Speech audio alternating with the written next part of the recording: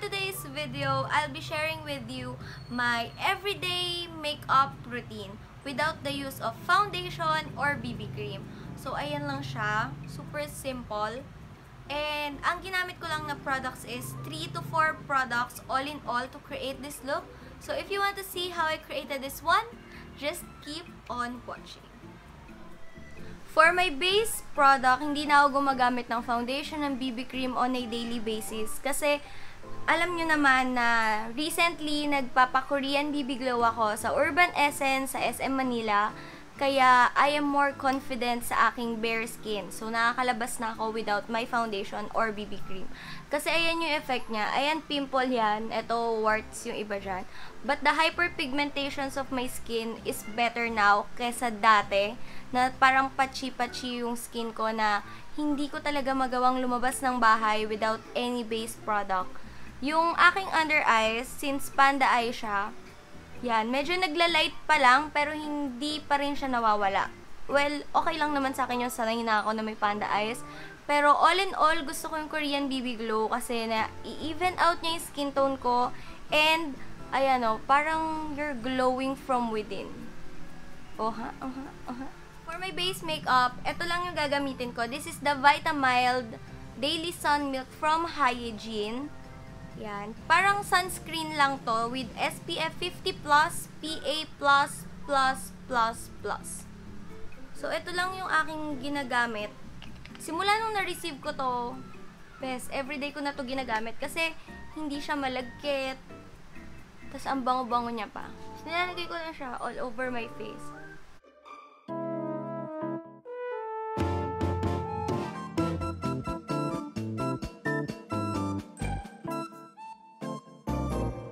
Next is magkikilay ako using my fashion brow. This is from Maybelline. Best gamit na gamit na, 'di ba? Pero favorite ko kasi to kasi nagtatagal siya. Sinusuklay ko lang. By the way, sa Instagram marami akong natata marami akong nare-receive na tanong kung saan ko daw ba pinagawa yung kilay ko. Original pa po yung kilay ko. Ayan siya. As in, pure buhok po yung nakikita niyo. Pero parang gusto ko rin magpa-microblading para hindi na ako nagkikilay ng nagkikilay. Kasi minsan, 'di ba, pag late ka na, kikilay ka pa, mas late ka.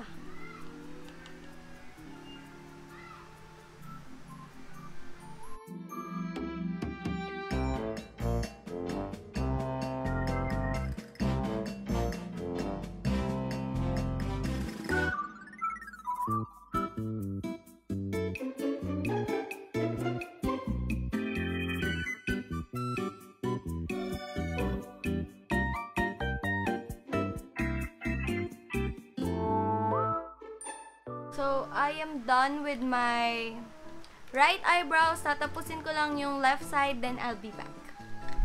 So, I am done with my kilay. So, ayan na siya. Suklayin ko lang yung dito. Yan. Next is my lashes. Since naka-keratin lashes ako, keratin lash lift, yung mga lashes ko, ayan. Kita nyo naman, mas mapagmataas siya kaysa sa pangarap ko sinusuklay ko na lang siya. Hindi ko na nilalagyan ng mascara.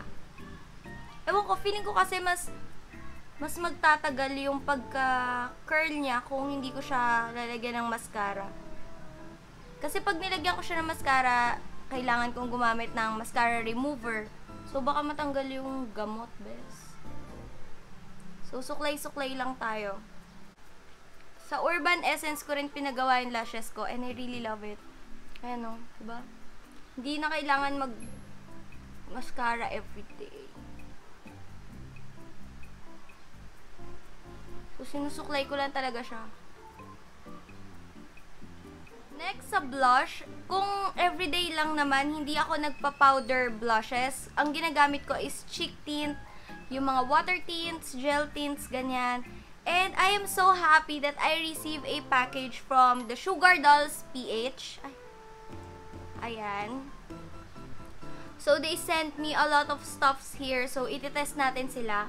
For my cheeks, I'll be using their Sugar Dolls na walang nakalagay. sugar dolls na parang gel tint. Ganyan, water gel tint. So, I have the shade Peachy Smoothie and Choco Tart. For my cheeks, I'll be using this Sugar Dolls Water Tint in the shade Peachy Smoothie. Ayan nga, yung kanyang shade. Ako kasi, since sa akin lang naman to, ako lang naman yung gumagamit, dinidiretso ko na sa mukha ko. Kontian lang muna natin. Tapos, i-blend na natin. Hindi ako masyadong, hindi ako ganun ka-precise pag naglalagay ng cheek tint. Sa kinakalat ko lang. Nasa sa inyo naman yun kung kakapalan nyo or kung gusto nyo super light lang. Pero ako okay sa akin kahit na medyo mapula. With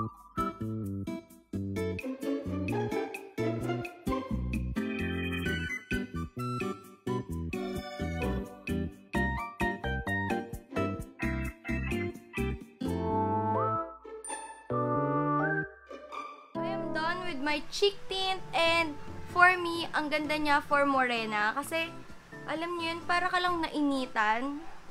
'Di ba Parang supernatural flush lang yung nakikita ko. Hindi siya mukhang pekeng cheek tint na boom, nag-cheek tint ka. Hindi siya ganon. Ang ganda niya. This is in the shade Peachy Smoothie by Sugar Dolls. Next is, pinadalan din nila ako nitong kanilang parang tinted lip balm. This is the Sugar Dolls Dolly Dream and Dolly Kiss. So here are the swatches. This is Dolly Kiss and Dolly Dream. Si Dolly Kiss para siyang brick red and then si Dolly Dream naman is parang purplish. Ayan. I love Dolly Kiss. Feeling ko bet ko yun. So let's try it sa ating lips.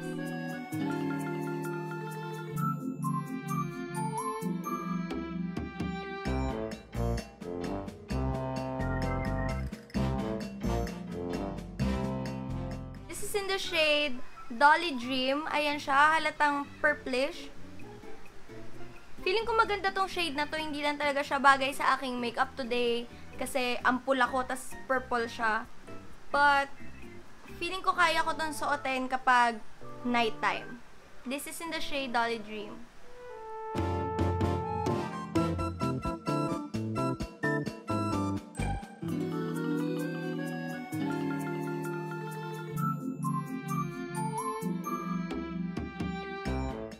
Is in the shade Dolly Kiss. And guys, this is my shade. Alam niyo yun, ito talaga yung mga klase ng shades na pag bumibili ako ng lipstick, parang nude, tapos ganito. This is in the shade Dolly Kiss, para siyang brick red. Ang ganda niya. And it feels lightweight. Both shades are very lightweight. They are so pigmented, kaya okay na okay. And they are not super matte. Kaya kahit na may dry lips ka, okay pa din. Kasi it's a tinted lip balm. Parang ito na yung gusto kong suotin, besh. So, thi- this is in the shade Dolly Kiss. Guys, pinadalan din nila ako ng kanilang premium powder lip ink. Same from Sugar Dolls. And ang cute ng packaging kasi parang rose gold yung kanyang cap. Ito yung na-open ko na. Hindi siya gold. Mukha lang siyang gold sa camera pero rose gold siya. Promise. So, I got the shade Coco Loco and then Luscious Lush. So, ito si Coco Loco, yung nasa taas. Then, ito si Luscious Lush. Ang ganda. So, para siyang watery kapag in-apply, pero pag nag-dry siya, it's matte. So, let's try it sa aking lips.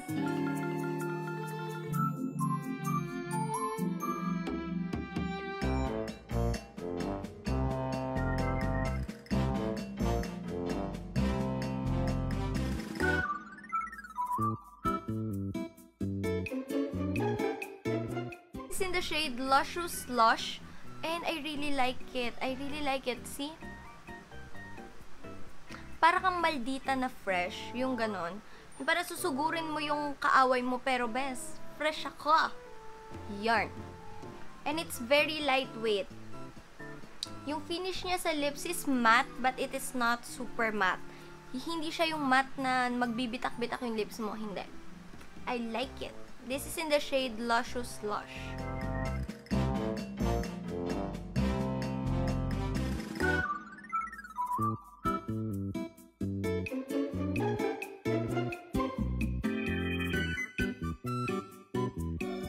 This is in the shade Coco Loco and I really like it. Parang parehas ko silang gusto, pero parang mas bet ko to. Kasi hindi siya super tingkad, pero super full yung color niya. And, ang ganda, ba? Parang kang hindi naka um, lip tint. Parang ganon. Kasi feels niya is lip tint eh. Parang ang hindi naka lip tint kasi super bold yung color and it is very lightweight. 'Di ba? Para ka naka-liquid matte lipstick pero beige. Hindi siya drying. Tada! Ito na yung aking nagawang look. So, super simple, super nakikita niyo yung skin ko, but for me, it's okay, it's enough.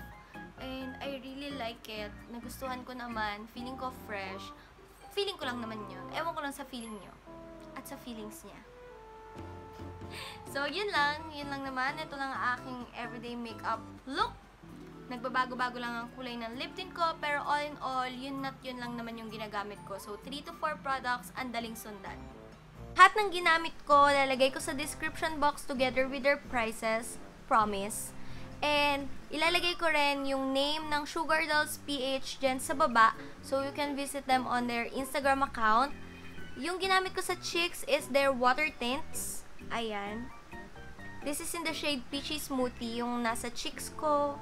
And then, yung sinwatch ko kanina na tinted lip balms is the Dolly Dream and the Dolly Kiss.